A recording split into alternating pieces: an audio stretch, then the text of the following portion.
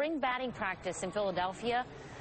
There you see it. The child reached for a fly ball near the fence. He lost his balance and fell over the fence as fans tried to hang on to him. The boy hit the warning track hard, but amazingly bounced back up. As you can see there, he was obviously in a bit of pain, but not seriously hurt. And we'll be right back.